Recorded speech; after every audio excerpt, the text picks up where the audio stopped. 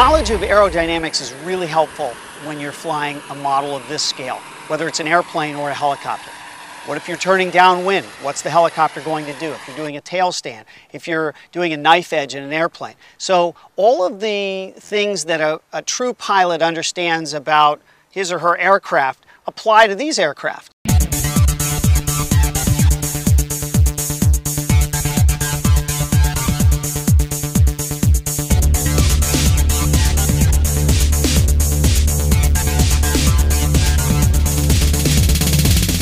Pick up a pretty good book. Understanding the Principles of Flight is a great book, uh, or any other book on flight. Understand where the lift is coming from. Understand, you know, what, what your, you know, airspeed is versus ground speed. Understand stalls. Uh, you know, how long does it take? It takes as long as uh, it takes to penetrate your, your skull, right? It's worth the investment of time. A couple of weeks, uh, hit the books, an hour a night, whatever it is, uh, have a look at it and enjoy it. To me, that's part of the fun.